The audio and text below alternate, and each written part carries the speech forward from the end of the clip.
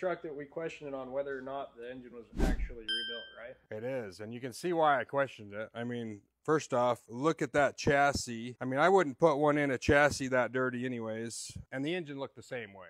So this is the Dodge that we had the video on that was having problems, no code, everything was checking out, it just would not start. It would run off ether, but it wouldn't start. So after calling the customer back and forth, he was kind of lost. He wasn't sure. He was certain he bought a rebuild kit and the guy that built it supposedly used all the parts, but he didn't know much other than that. He just kind of trusted this guy to do the job right and get it done for him. So we ended up pulling the engine out, got it down, and what we had found in this is the tone wheel that shows TDC on number one or tells the ECM where it is so it knows when to fire the injectors. It had the wrong one in it. So you get an old truck like this over the years, people will use different parts off other engines they have laying around because it saves them money. And a lot of times they'll use the cover or valve cover or whatever, wherever the engine serial number is. They'll get put on the engine and not actually be the right engine serial number. So this was still reading, it was close enough, the tone wheel was close enough that it wasn't throwing a code and it was showing RPM and reading. I mean, it was, it looked normal.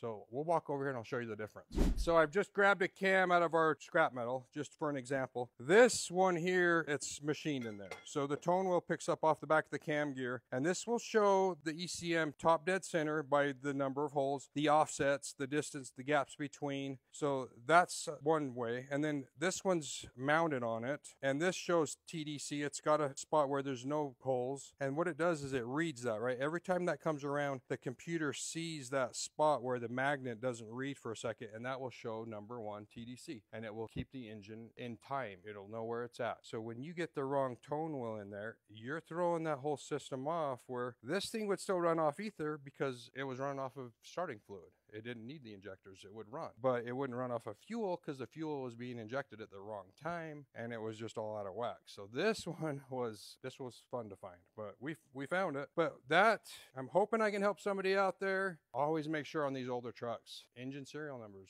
Just because it's on there doesn't mean that engine serial numbers for that engine. I would hope that somebody would make sure that they tag that. If they did that, we always stamp in the new number, make sure that it's recorded because wow, when you change the engine serial number or change the engine out on a truck, you're causing a, it's going to be a trouble. I mean, that's going to be a pain in the ass for somebody, another shop to figure out. So just keep in mind that's can happen and it happens. We get it here once in a while. So that's the case on this one. You know what? We haven't lost one yet. If it's on our time, it's on our time. We're going to figure it out. So you need some help, give us a call. Utah Diesel Center, 801 796 9353.